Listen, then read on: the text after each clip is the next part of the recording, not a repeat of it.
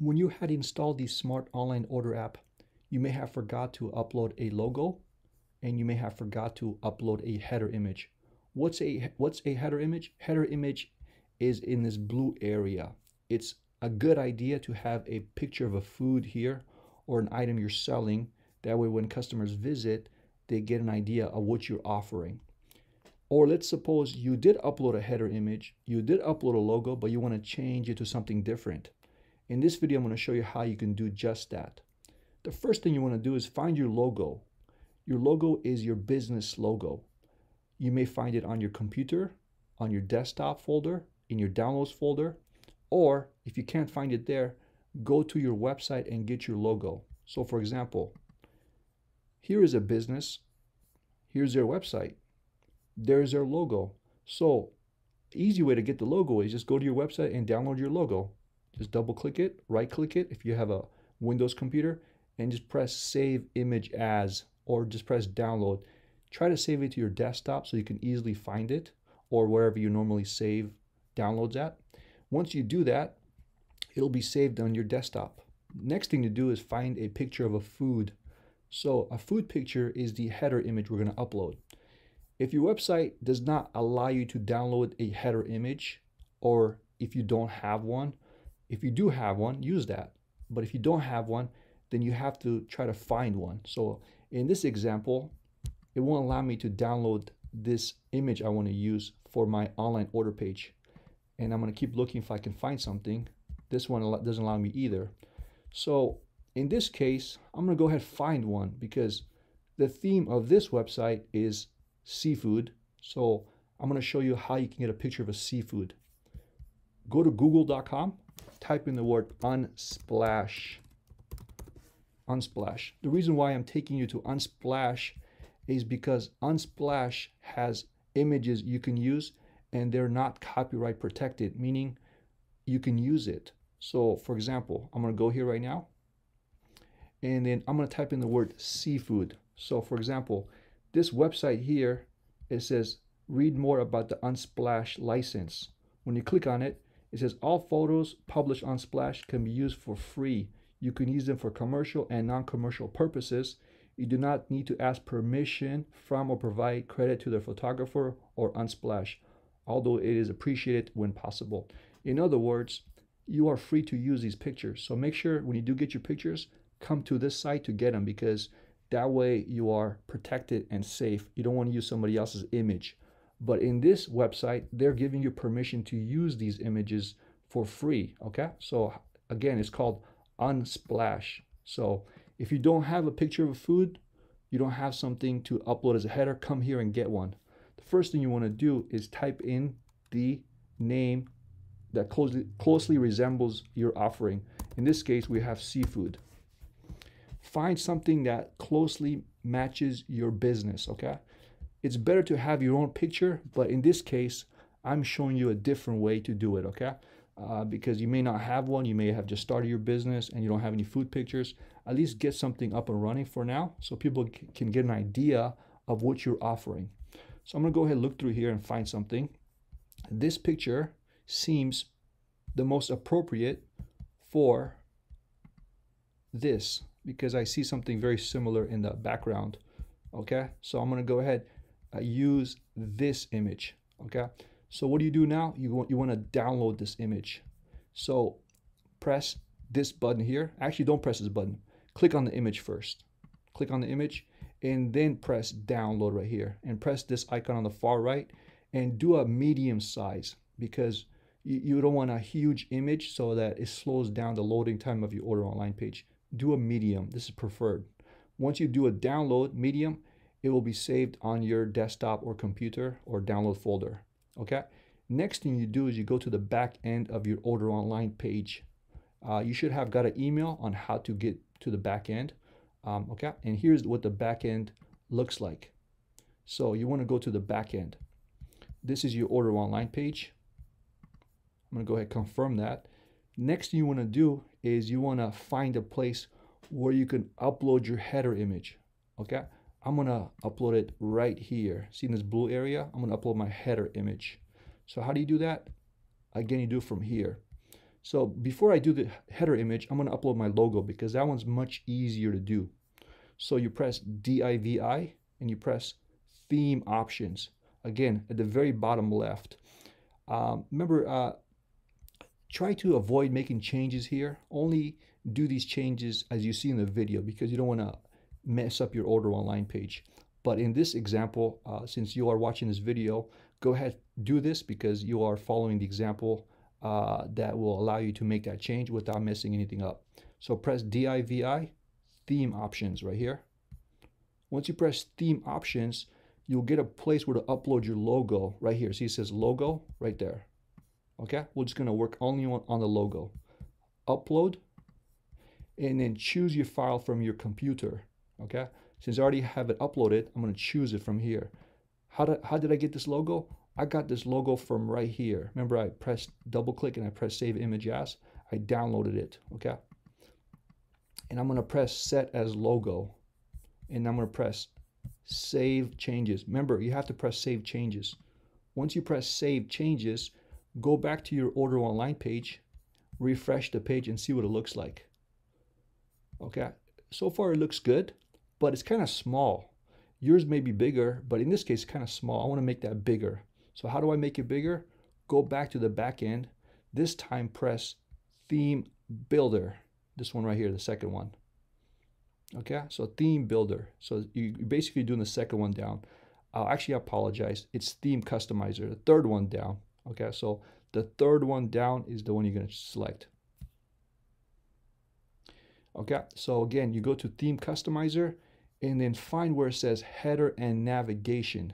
It should be the second one and then press primary menu bar and then you'll see something called height logo. So I want to do height first. Make that logo nice and big. And then again, if you want to do these settings, you can. See, it just kind of makes the logo even bigger like that. So you can do that as well. I'm going to, I think this is a good size for it. And I'm going to press publish. I'm going to scroll down so you can see the word publish. See the word publish? Just press publish, okay? Once you press publish, now what we're going to work on is the header image. The header image is the next one we're going to work on. Once it's published, press the X button here at the very top left. There's an X button. I'm not sure if you can see it, but there's an X button there. And then now press pages, okay? P-A-G-E-S, pages, top left pages, okay? Not uh, Make sure not to do it in the post. You want to go on the pages. Once you're in the pages area, press order online. Why are we pressing order online? Is because we want to change the header image on the order online page. See, this is the order online page. All right, let's go ahead and do that. And then I'm going to press edit. There's a few ways to do this, but I'm going to show you the easier way. Um, okay, so do you see where it says full width header? You're going to press the three lines. Okay, remember uh, things change uh, by the time you may watch this video it may look a little bit different for you. Uh, so so kind of go with what you see because you're going to look for something called module settings okay? Uh, yours may have a different name. See how mine says module settings? Mine is a three lines okay? So you're going to press this button here. So full width header. Why am i doing full width header? Because this is called full width header it's a full width and it's a header. So we're to actually do that one. Okay. And then another thing I want to mention is that there's checkout page, there's cart page. So we have to do the same steps uh, three times. So let's go ahead start it off. That's why it's better to do this from the very beginning when you create your order online page because it's all done for you. Uh, so if you do it now, it takes a little bit longer, but we can still get it done. I'm to press full width header and then see how it says order online. If you want, you can change this. Um, it's up to you. You can say something like, I'm just gonna, I'm kind of got, I'm kind of giving you a different, giving you more ideas of what you can do here since you're already here. Serving the best seafood. Okay, I'm gonna serving the best seafood. Again, this is something optional I'm teaching you or trying to show you that you can make this as well. But the main point of this video is to show you how to change the header image. So you scroll all the way down until you see background. See background right here? And then you'll notice something blue. This looks very familiar. Why is this familiar? Because this is also blue, indicating that this is the image we want to change. So just click on it or click here, whatever. It doesn't really matter where you click on, just click on it. Now choose your background image. I have this picture here. I'm going to press set as background. And then now, remember, uh, just do this part. Try not to make too much additional changes because uh, just by uploading the image, it'll be just fine. Just press save and exit. And then press update. Once you press update, give it a few seconds and then refresh the page. So I'm gonna go ahead and refresh the page. Now it's from blue, it's gonna show the items, I mean the background category image. And then I also wrote serving the best seafood here, as you guys as you guys saw. You don't have to do that. I just did that to show you. Um, and as you as you guys noticed, the logo is much bigger as well. So I think this is more presentable for the online ordering. It will help you get more orders because it looks to me looks a little bit better. Um, and then let me show you something else as well. Uh, you may you may be asking the question, but wait, this is kind of small. I want to make it bigger. Well, you can. So you just go back here again, press full width header, and then uh, there's your order. There's your subtitle right there, and then you press design right here, design, and then you're gonna find uh, subtotal. Okay, scroll all the way down until you see subtotal.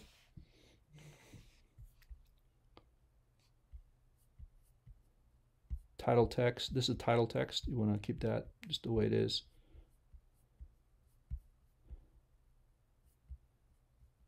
Body font, text color. Yeah, so you want to go all the way down until you see subtitle. See, there's subtitle text. Okay, so right now it's it's default regular.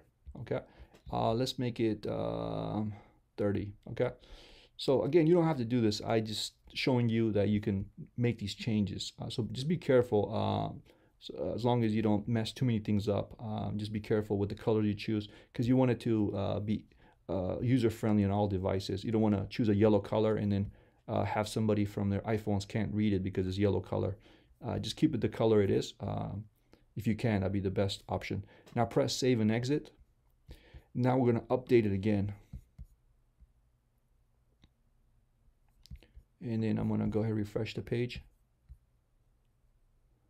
There we go. See, serving the best seafood. So um, that's how you make the changes to the to the background. Now, now that now I am finished, but remember, uh, there's three other pages, so you wanna you wanna repeat that step. So, for example, when I go to the checkout page, you'll notice that it still has a blue background, right? So repeat these steps again for your checkout page. So press all pages, checkout. You can put a different picture for the checkout page uh, if you want, but repeat the same steps you did for the order online page, the checkout page, and the my orders page. Okay, these three pages, and that will give you an image background for all those three uh, pages. Okay, uh, and that's how you do that. And one last thing before I uh, before I go, when you go to your website, you'll notice it has a home button. When they go to the order online page, you'll notice that it says order online cart checkout. I think it's a good idea to have a home button here as well. This is optional, but I think if you want to do it, you can. Go to your website, copy the link, and then press appearance menu right here menu and then do you see where it says custom links type in the word of your home page just just type in home and then put the url here okay so the, the website name is theboiler65.com. Make sure to include the HTTPS, everything. Just copy the URL and paste it here, okay? This is your main home page of your website. Add to menu, just like that. And then put, put at the very top. The reason why I'm doing this is, let's suppose somebody comes to your website, presses order now, comes here, they come to your order online page and they want to go back to your main website. So they can just press home and they go back there again. So it's like a link to go back and forward, okay? Again, this is optional. You don't have to do these things. You don't have to add this text. You don't have to make it bigger. But I was just showing you uh, because I was already there uh, to give you some additional ideas you can do. All right? And that's how you make changes to the logo, to the header, and to add a home button. Thank you so much.